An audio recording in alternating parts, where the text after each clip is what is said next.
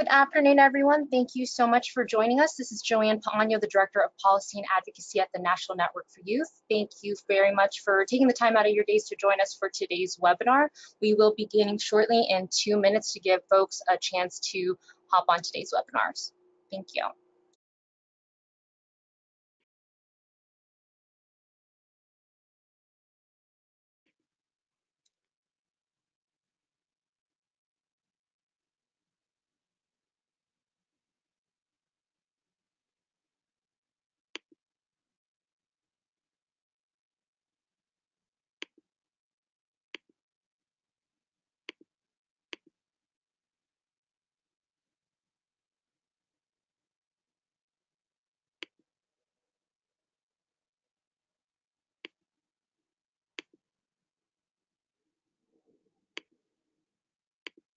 Hello, everyone. Thank you all for joining us. Can everyone hear me? I hope so. Yeah. Yes. Okay. Thank you.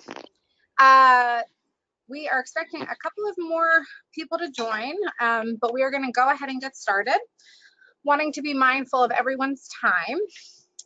You have all joined us for a webinar on the new white paper that we are launching today um, on de accurately defining homelessness, a first step towards ending youth homelessness. I'm gonna go to the next slide. We'll start with a little bit of housekeeping.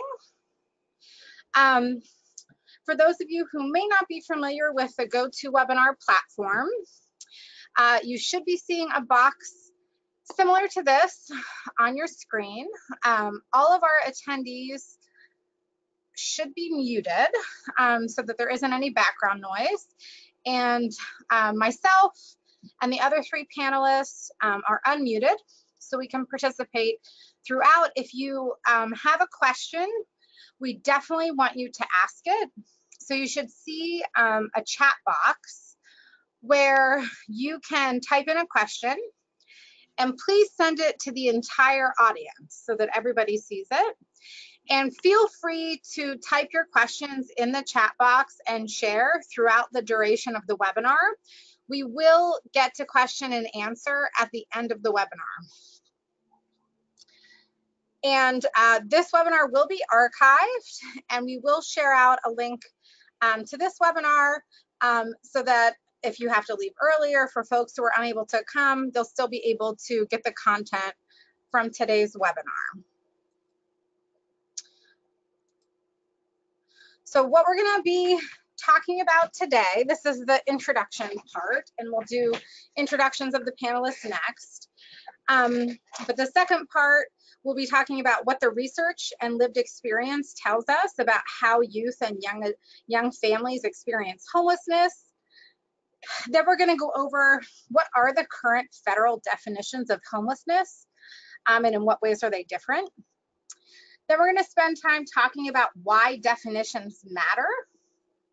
And then the final chapter, we'll be talking about um, some federal advocacy that you could do um, to align the different definitions. And then we will finish with Q&A. So please definitely uh, chat us your questions throughout. So now we're going to go to introductions. Sierra?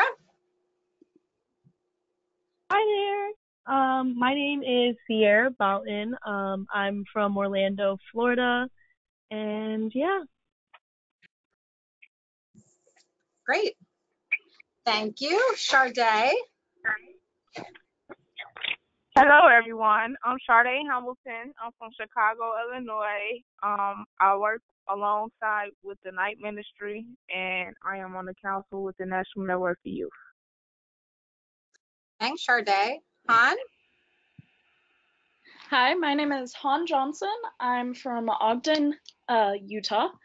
I'm also a part of the Youth Council for the National Network for Youth, and I also work locally with the Shelter Youth Futures here in Ogden. Great. All right, so now we are going to dive in to what the research and lived experience tells us about how youth and young adults experience homelessness. And I'm gonna turn it over to Han. So if you head on down to slide seven, I don't know if that shows on their screens, but uh, slide seven in the PowerPoint, we're looking at these statistics, right? So roughly 4.2 million youth and young adults are unaccompanied and homeless. And 3.5 million of those are between the ages of 18 and 25. And 700,000 of those are between the ages of 13 and 17. So that's a large chunk of youth that aren't getting the access to the resources they need because of these definitions. Um, if you look, 50 on the next slide, 50% of these young adults and 75% of minors are reporting explicit homelessness, and 50% of young adults and 25% of minors are couch surfing. So those couch surfers aren't getting access to the resources because of these definitions, and that's putting them in even riskier situations and making it harder for them to succeed in life. Um, my friend Alyssa, who I had the pleasure of growing up with, was couch surfing throughout high school. And because of that, she wasn't able to get like the proper housing or the proper like medical care and other stuff that I was able to get because I was in shelter. And that really detrimentally affected her life now. Yeah, it's not great. Um, on slide number nine, we can see like the youth most likely to be experiencing this homelessness. So youth with less than a high school diploma, which at my shelter is most the youth. I mean, you can't get a high school diploma until you finish school, and in order to finish school, you need to have stable housing, right? Uh, youth of color, LGBTQ youth, myself and Alyssa included, unmarried, unmarried and parenting youth, which is a large portion in Utah. Surprisingly, we have a very high teen pregnancy rate. Um, and youth who have been in foster care, which is also a large portion of our population that we need to be accounting for in these definitions.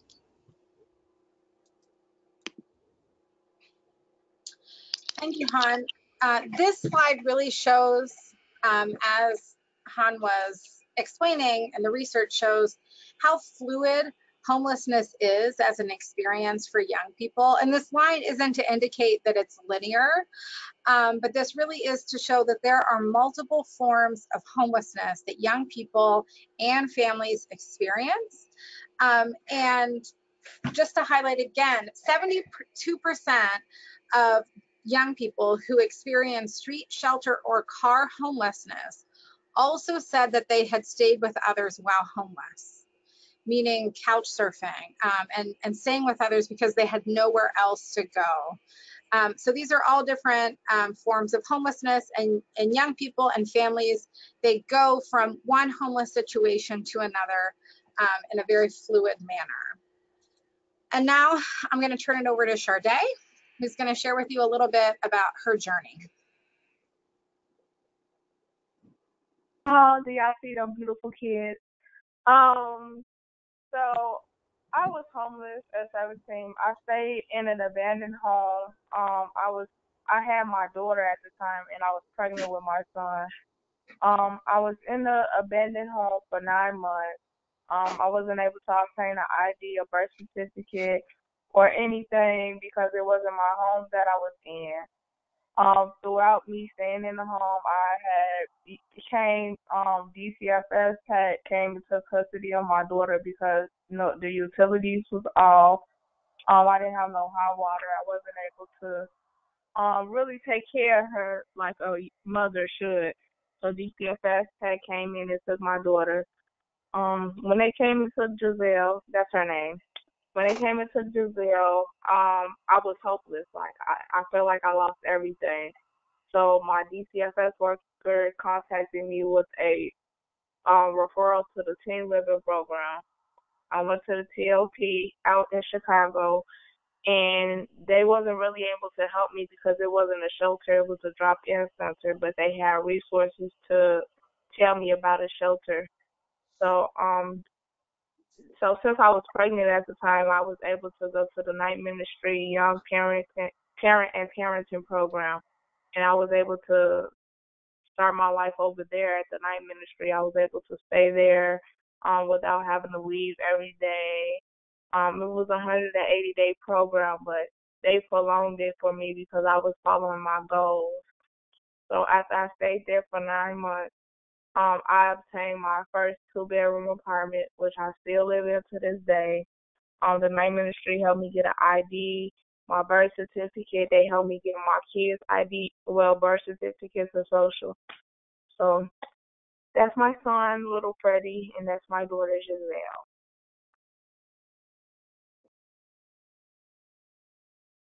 Thank you, Charday. And this is a quote from one of our young leaders um, who shared that the open sky never made me bleed.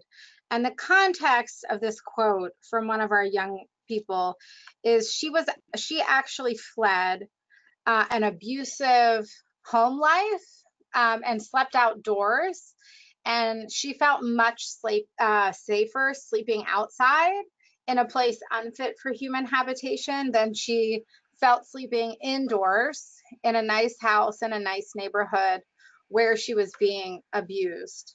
And this is just to illustrate um, around vulnerability and that where a young person or anybody finds um, a place to sleep at night is is not indicative of their level of vulnerability.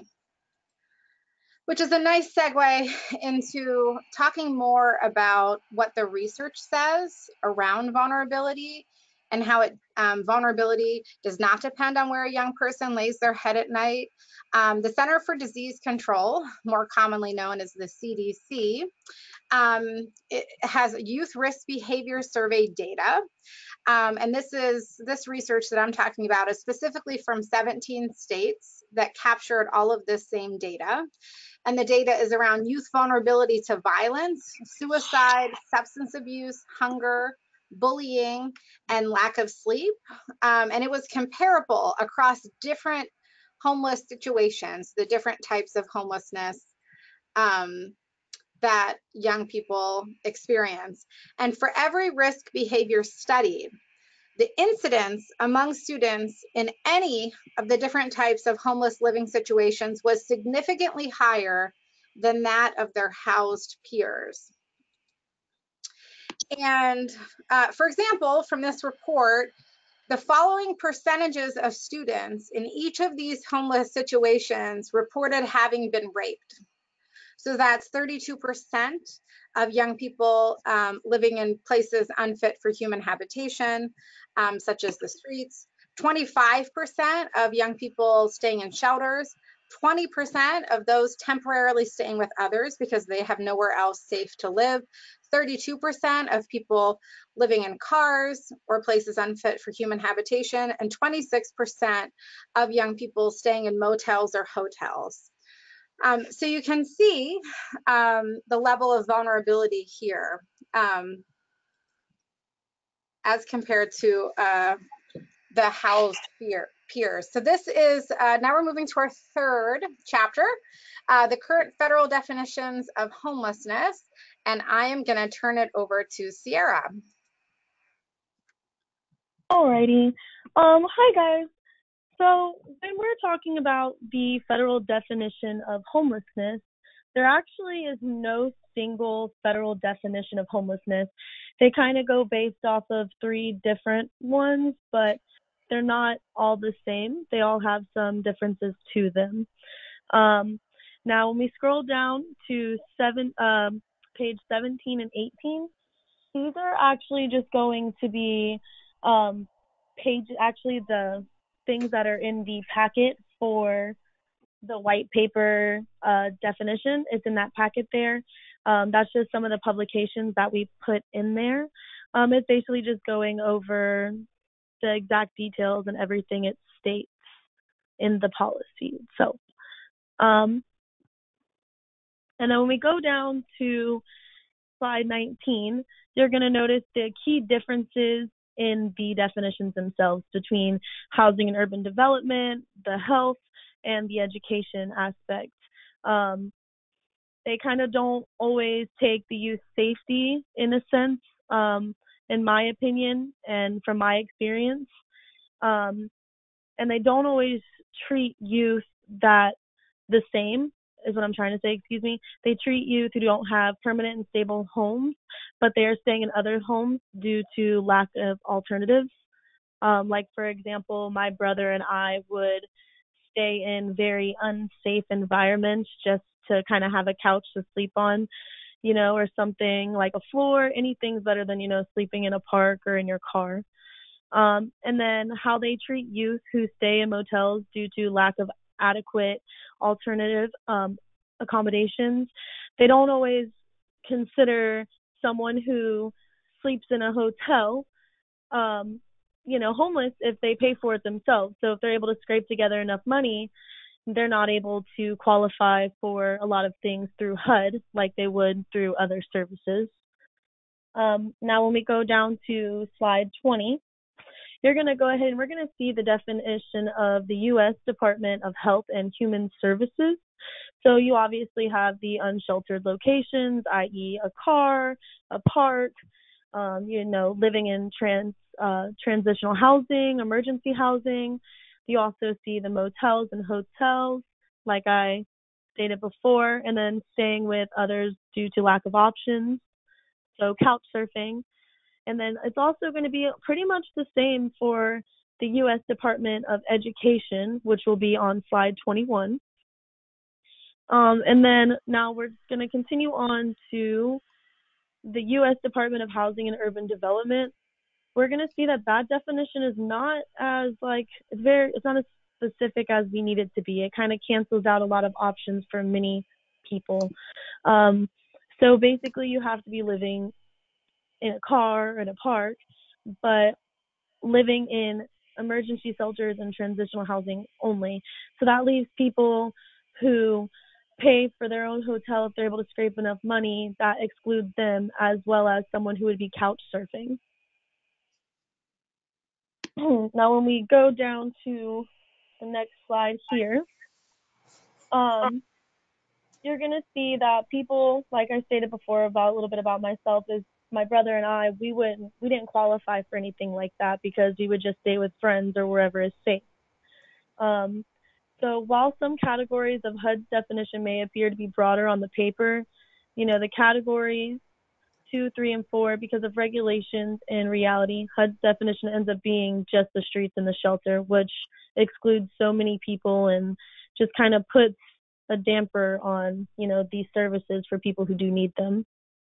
Now on 24, we put they put together this lovely little flow chart, and it basically just explains what you have to do to qualify for HUD. So basically, if you you know you see a lot of red here, so there's a lot of things that's going to exclude you from being able to use these services, even though you do need them.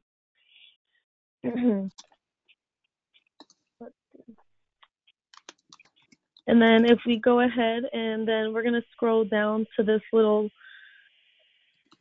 slide here, slide 25, you're going to see that, okay, if you sleep on a park bench or a shelter, you qualify. But if you sleep on someone's couch, you don't qualify. And then you do qualify if you are sleeping in your car. But for a hotel, like we stated again, I'm going to say that if you pay for it yourself, you're not able to qualify, even if, you know, you're getting that money, but just by someone, you know, just being nice and giving you and helping you out. Or if you're, you know, just kind of on the side of the road trying to get money so you have a safe place to live, you know, and you get lucky enough to get enough money for a motel or a hotel, you still just won't qualify. And then that explains that some more down on page 26. And like I said, third party payments are the only way that you would be considered homeless under a HUD definition. And if you make direct payments, that means you're not homeless, even if you are. So, and I think that's all I got here. Yes, thank you, Sierra. Um, Mhm.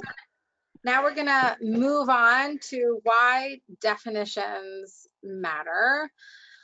So I'm sure many of you on this webinar already understand the realities of why definitions matter. Um, so when definitions reflect the way that adults and not youth experience homelessness, youth will be undercounted and underserved, as you've heard from all three of um, our young leaders who have been presenting today. And when definitions or prioritizations based on definitions include individuals who have experienced some form of homelessness but not others, we as a community and as a country lose the opportunity to prevent youth who may be facing homelessness for the first time from becoming the next generation of chronically homeless adults. So our goal, the goal is that HUD's definition of homeless should be aligned um, with other definitions to include the ways that youth and family often experience homelessness, including couch surfing and staying in motels, even if they're paying for it themselves. Uh, some of the barriers um, that are in existence through HUD policy and regulation is that while the statute does authorize HUD to allow communities to serve youth, families, individuals um, who are considered homeless under other federal definitions, this is what we um, often refer to as category three. Um, you have to be considered homeless under another federal defi definition, plus have moved, plus have two or more disabilities. And further, um, HUD has used its administrative authority to limit the eligibility in this category to only a few of its programs, and communities has to have to ask HUD permission to serve category three, with um, and only use 10% of its funds. That's through statute. And HUD has not granted one community um, who has asked permission to do so. So there are communities who've taken a vote who have said we do want to use um, up to 10% of our continuum of care dollars to serve category three um, homeless individuals plus having moved, plus having two or more disabilities, and HUD has not given one community permission to do so, even when asked.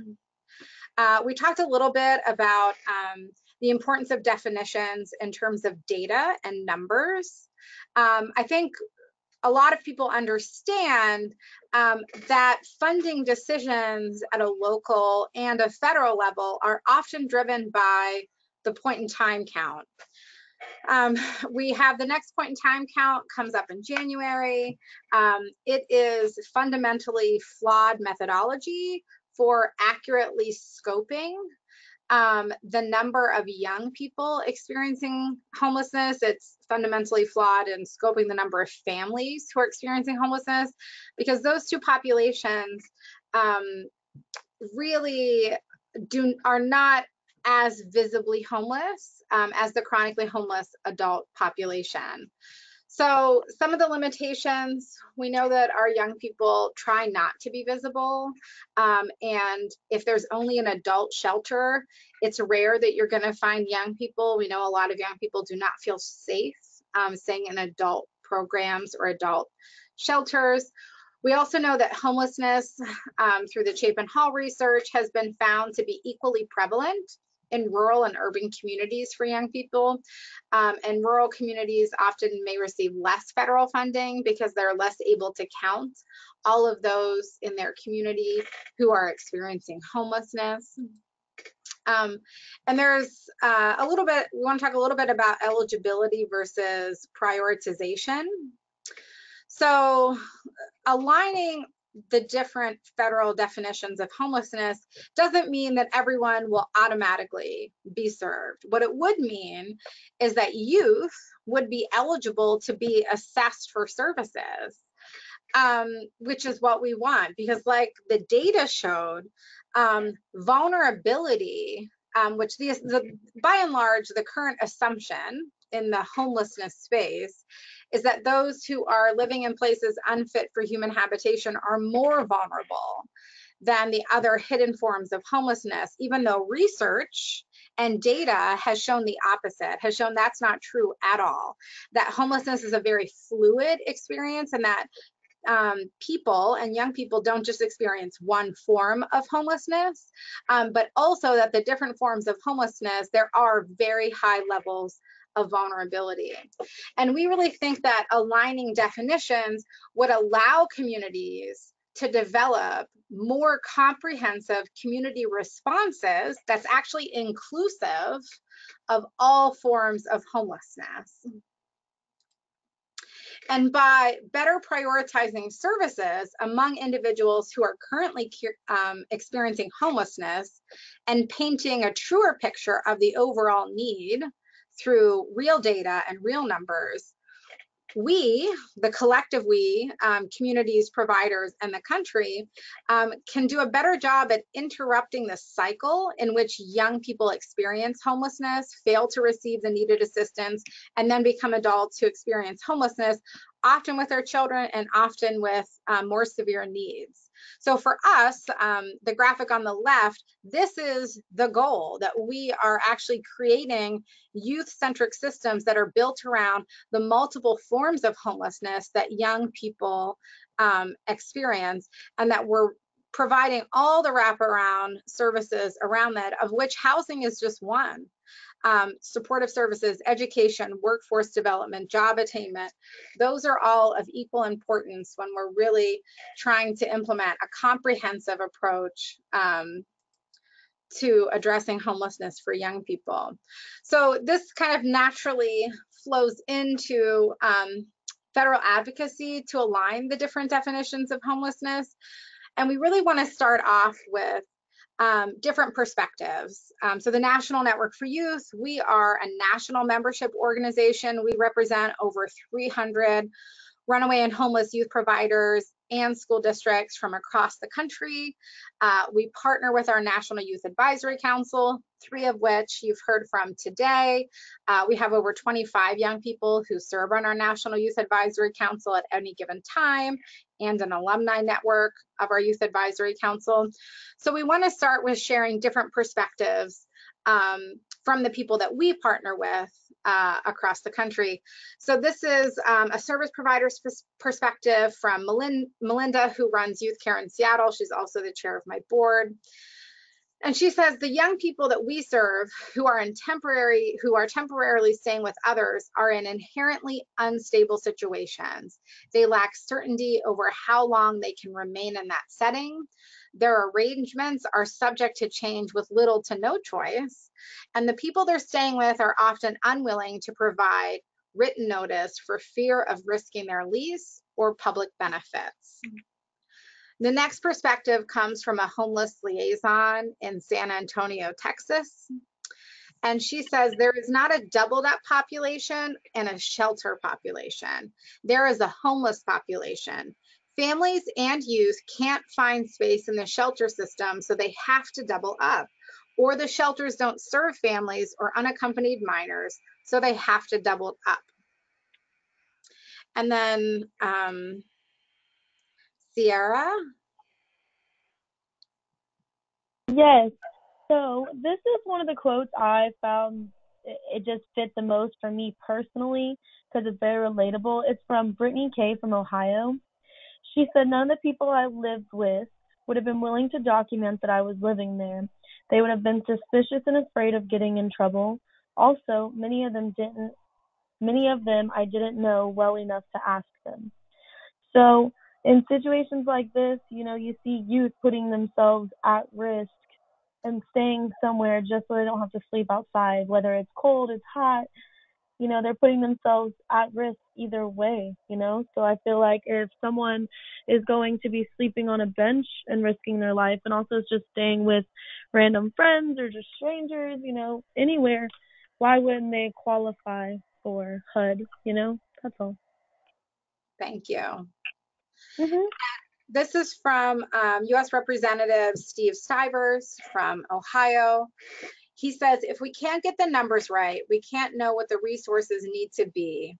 and give our communities more flexibility so they can choose how to address this growing problem and give policymakers the information they need to get the resources that we need to combat homelessness. So we're going to talk a little bit about the Homeless Children and Youth Act um, and why uh, this um, law is so needed. So currently HUD's definition of homelessness excludes most, most children and youth whose families pay for a motel room or who must stay with other people temporarily because there is nowhere else to go. Under HUD's current statutory definition, children and youth in such living situations are not eligible. HUD added many more restrictions via regulation and the funding application, which is commonly known as the NOFA. As a result, these families and youth are not even assessed on their vulnerability for services. Other federal programs recognize that children and youth in such living situations are homeless, which is what um, you heard about earlier in terms of uh, the HHS definition and uh, US Department of Education definition. So what would the Homeless Children and Youth Act do? So uh, the first issue it would address is HUD's narrow and arbitrary definition of homelessness excludes some of the most vulnerable children, youth, and families. So what the Homeless Children and Youth Act would do is it would align HUD's definition of homelessness with the definitions used by other federal programs. So if you are considered homeless by the McKinney-Vento um, Education Act, uh, then you would be eligible to be assessed um, for services by the HUD Homelessness Assistance Grant Program. Similar if you were considered homeless according to the Runaway and Homeless Youth Act, Healthcare for the Homeless Act, Violence Against Women Act, um, uh, the second one is second problem that HCYA would address is there are federal mandates that incentivize and force um, communities to prioritize programs, specific housing models for certain populations and program models regardless of local needs and program effectiveness. So what HCYA would do is it would require HUD to score local applications primarily on whether they are cost effective in meeting the priorities and goals that the community identifies in their local plans, as opposed to um, from the federal government. Uh, the third problem that HCYA would address is uh, HUD's data keeps many youth, children, and families invisible and limits public and private action to help them. Uh, HCYA would improve HUD homeless data by requiring that communities include children, youth, and families who meet any part of the newly amended definition of homelessness in local counts. Uh, there are ways you can take action to help advocate for the Homeless Children and Youth Act. You can learn more about it on our website. Uh, please contact your U.S. representative and ask them to co-sponsor the Homeless Children and Youth Act. You can add your name as an organization that endorses this legislation and stay tuned. Um, we are expecting a Senate bill um, to be introduced, um, hopefully sooner rather than later. And now we are gonna um, move to Q&A. So um, please, if you have any questions, um, please type them in the chat box so I can keep uh, folks on mute. And then um, myself and the other panelists will answer all of your questions. I'm gonna just wait one moment. Joanne's gonna help us moderate.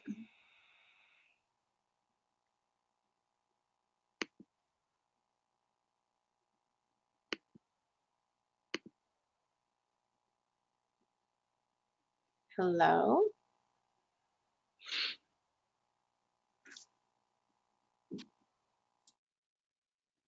We are combing through. Oh. We're combing through the questions to see if anyone has typed them in. Not seeing any right now. So folks, if you do have any questions with regard to any of the information or content that you've seen today, please feel free to go ahead and type your questions into the chat box. Oh, I do see one question from Bonita. Um, Oh, there are questions under in the questions section, Joanne. Someone did ask, um, it was my understanding that the federal agencies were working on aligning the definitions. Um, so just wanted to flag that. Um, so, um, I'm not aware of that. Um, and I don't, it's not, it's not federal agency action. So let me back up. So the Homeless Children, Children and Youth Act, um, which I just presented on, would help address um, the statutory issues that exist within the existing law that governs the homeless assistance grant programs. Um, regulations and NOFA make the challenges of the law worse. So um, HUD does have authority to amend regulation and to change things on the NOFA. But I'm not aware that any of that is going to happen. Um, but I guess the larger point is we really do need Congress to act as well as HUD. Sorry, what's the next question? Yep, so the next question from one of our participants, and this question is probably for you, Darla. Who is resisting the potential change and what kind of opposition might the Homeless Children and Youth Act face? Who's resistant to this change? Uh, so uh, the National Alliance to End Homelessness does oppose the Homeless Children and Youth Act. Some of the arguments that they will put forth is this really, there isn't enough money. Um, this will overwhelm the system. Uh, right now, current law and policy is really targeting limited resources on the most vulnerable of those who are experiencing homelessness. We do not agree with the National Alliance End Homelessness's position. It's not just about resources. Um, it and we think that, and research shows that many uh, of the most vulnerable who are currently experiencing homelessness are not eligible and they're not even being assessed for services, which from our perspective is very problematic. We also know from data um, that, you know, from different communities, King County and LA County, their data shows that upwards to 40% of their chronically homeless adult population first experienced homelessness as young people. So from our perspective, and increasingly what we're hearing from Chapin Hall and other esteemed researchers in this space, is that if we're gonna really move the dial on chronic chronically homeless adults in this country, then we have got to intervene early. And existing policy under HUD actually mandates and requires long-term suffering and chronicity before you are prioritized um, for the resources. The other kind of counter argument to what the National Alliance to End Homelessness will say is, well, there's only two point some billion dollars at the federal level, so we need to target those resources to those in the highest need. And we certainly want um, everybody with high needs to be served, but it is not just two point um, several billion dollars going to fund the continuums of care states and cities are investing billions, millions and billions of their own dollars into this, this same system using this same definition, focusing um, their dollars and their prioritization on chronically homeless um, adults as opposed to also serving young people and families who are in very serious and vulnerable situations. Great, and thank you everyone for typing in your questions. We do see them um, coming along. So the next question is on the topic of HCYA. One of our participants asked, what would be the benefit for very rural communities in terms of the Homeless Children and Youth Act? Yeah, so it would actually benefit rural communities a lot. What we're what we see through HUD regulation and primarily through the NOFA is a very urban centric, urban um, focused um, approach to homelessness. And what the Homeless Children and Youth Act would do is it would actually restore local control, power, and decision making. So we would, the law would acknowledge um, the local community as experts um, over uh, their their homelessness problem, and they could then say, "Hey, this is this is what um, we need to fund. We need to fund transitional housing, or we need to fund um, permanent housing, or, or whatever it is." And they would set their own benchmarks, their own priorities, and say, these are the programs that we need to fund because this is what would work in my rural community. Um, and they would be able to pull down dollars from the federal government that would actually fit the needs of their community. Great. And then the next question appears to expand more broadly um, in terms of alignment, the different federal definitions. The question from our participant is, where is USICH on this? Again, on the topic of federal alignment. Uh, I don't think USICH has a formal position um, on the Homeless Children and Youth Act. I know that they had been doing work just around like info sharing around the differences in I don't know definitions per se, but definitely in like what the different federal programs fund and do or do not do. Uh, I do think that was just going to include statute and not regulation and funding um, applications, which we, the National Network for Youth, did encourage um, USICH to also include regulation and um, applications because that does provide um, priority and a lot further restrictions on what just the, the federal law says. Great. And then we have a question from a viewer who asked around the timing of reintroduction of the Homeless Children Youth Act and when that took place. Yeah, so the House bill uh, was introduced earlier this year. I forget when. Um, we are hoping that the Senate bill will be introduced this month um, and if not this month, then early next month, we will um, send out an alert whenever um, the Senate version is introduced. And we will encourage all of you to get both of your senators to join as co-sponsors. Um, and definitely you can reach out to your House, US House representatives today and get them um, to join as a co-sponsor to the House bill. Our understanding is that the Senate version will be identical um, to the House version, but again, we don't um, have details on timing just yet. Great, and it appears to be a few questions on whether the a copy of the recording of this webinar, slides, and the full white paper will become available for folks. Yes, so we'll definitely be pushing out um, the white paper and I'm not sure if Joanne will be able to share the link to the white paper in the chat box, but it is on our website already. It's um, under take action in our policy brief section. Uh, we are pushing it out on social media um, at a little after four today. And uh, once we um, get the uh, reco webinar recording squared away, we are going to add the link um, to this webinar recording um, in the same place on our website that we have the paper in our policy briefs section under the take action part of our page. And again, and we'll also um, push that out over social media. Yep, and for folks who are interested in taking a look at our fact sheets and issue briefs um, on this topic, as well as our upcoming um, publications, please feel free to look at the chat box on your screen, where you'll see a direct link to our website and also the different publications, including the white paper on the federal definitions here that we presented on today. So I don't see any other questions unless folks had any other um, points of clarification or inquiry that they wanted to ask. And I do, I do apologize, just while folks are thinking of other questions, I do apologize that folks couldn't see the slides.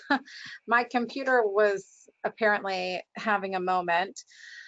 Um, but we'll make sure that all of that um, is shared with you all. Have any more questions come in? Don't see any others. Okay, well, while we're waiting, um, I want to let you all know about um, another webinar that we have coming up on December 12th from 2 to 3 p.m. Eastern Standard Time. We did just release a publication um, called Families First Prevention Services Act, Implications for Addressing Youth Homelessness. The Families First Prevention Services Act was a pretty significant foster care reform bill, really trying to focus um, child welfare dollars more upstream in prevention. Um, and we did, we partnered with Child Focus, who's amazing, and we did a lot of one-on-one -on -one interviews with experts uh, service providers from the youth homelessness space, child welfare space, young people who've experienced homelessness, and we put together this publication. You can download this paper. It is on our website at the same link that Joanne shared in the chat box. Um, and you can sign up um, for this webinar to learn more, to ask us questions. It'll be both Child Focus and the National Network for Youth um, who present on that webinar. I also wanted to flag that our 2020 National Summit on Youth Homelessness, this is our seventh annual summit, will take place in Washington, D.C. on March 2nd and 3rd. Uh, and we'd love to have you all come to DC and take part in our summit. We do have an education track during that summit that uh, Schoolhouse Connection co-sponsors.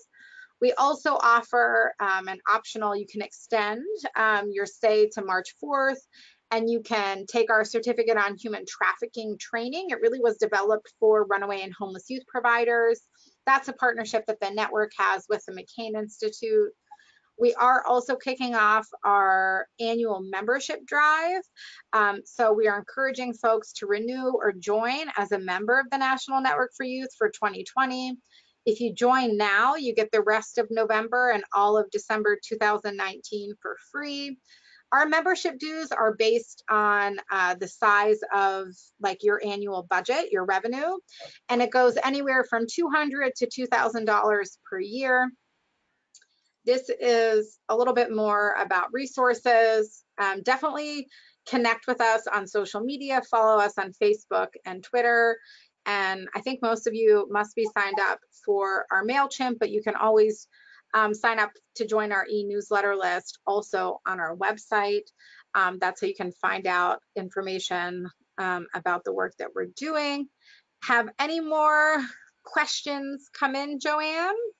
The only two other questions that I see um, are relating to the national data and the point in time count, which I think given the um, issues that we were having with the screens earlier. Again, we do apologize to folks that the content wasn't visible, but once we do um, share it with you all, you can always reach out to us through the email address that you see there at the bottom, info at nn4youth.org, and we'd be happy to reference any of that information that you might have missed earlier. So those are the only other questions. Okay. Great. Again, I apologize for the technical difficulty. They're beautiful slides. When you do see them, you'll love them. Uh, thank you all so much for uh, spending time with us. Thank you to Sierra, Charday, and Han. Um, do is there anything either of you would like to say, closing words before we sign off on this webinar? Sure. Um, I would just like to say thank you guys for, you know, putting in time and actually, you know, attending the webinar and asking questions and, you know, wanting to get educated and make changes about these things. Um, it means a lot to people like myself, Han, and as well as Charday. It just kind of puts us in a better puts us in a better position to help the future, if that makes sense. So I just wanted to say thank you. Thank you. Hello. I just want to say thank you also for taking time out of your day to join this webinar to listen to our stories and the recommendations that we have for you guys. Thank you. I as well would like to say thank you. I I know we all really appreciate your support in fighting this good fight. So thank you all. Great. Thank you all. Have a good day. Thanks.